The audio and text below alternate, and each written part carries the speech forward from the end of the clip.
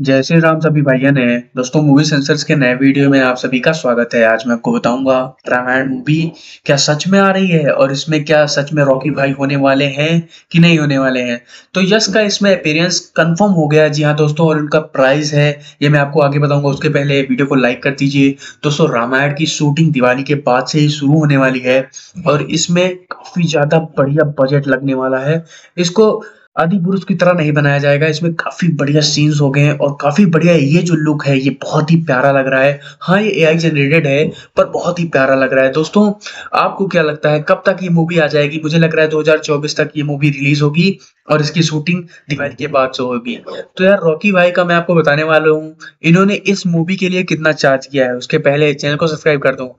दोस्तों रामायण के लिए रॉकी भाई ने जिनका नाम यश है उन्होंने डेढ़ सौ करोड़ रुपए।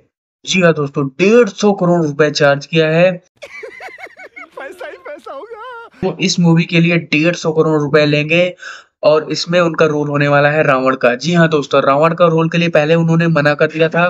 फिर वो मान गए और उन्होंने डेढ़ सौ करोड़ रुपए मांगे हैं इस रावण के रोल के लिए। तो यार, आज की वीडियो में इतना ही। आशा करता हूँ वीडियो पसंद आई होगी। चैनल को सब्सक्राइब किए बिना कोई नहीं जाएगा। फिर मिलते हैं अगले वीडियो में। तब तक के लिए, गुड बाय।